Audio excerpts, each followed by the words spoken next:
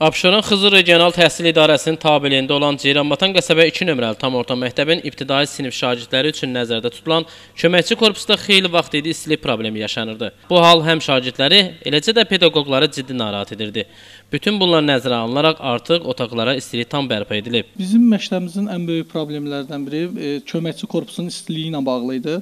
Bizə istiliyi e, şagirdlərin dərsini davam etdirmək üçün əlavə qızdırıcı peslərdən istifadə edirdik. Və artıq Soyuq olmasın deyə. soyuq olmasın deyə bəli.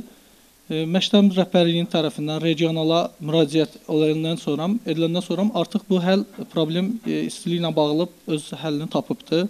Artıq şagirdlərimiz də e, yəni e, isti otaqda əyləşib dərslərin təhsilini davam etdirirlər.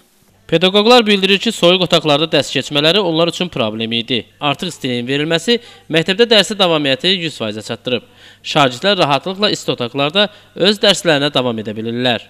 bir pedaqoq üçün həqiqətən də çox çətin idi. Bir soyuq otaqda təhsil vermək, eyni zamanda şagirdlərimizin təhsil alması həqiqətən də bu ürək ağrıdıcı e, bir məqam idi. Hal-hazırda doğrudan da şəraitimiz, e, yəni artıq əl verir. Bayram qabağı nəinki müəllimləri, eyni zamanda da şagirdlərimizi sevindirdiniz. Hətta dərsə davamiyyət də yaxşı olur. Bəli, bəli, dərsə davamiyyət də yaxşı olur. Eyni zamanda uşaqlar bundan qabaq çox xəstələnirdi. Dərsdən qalma halları həddindən artıq çoxalmışdı.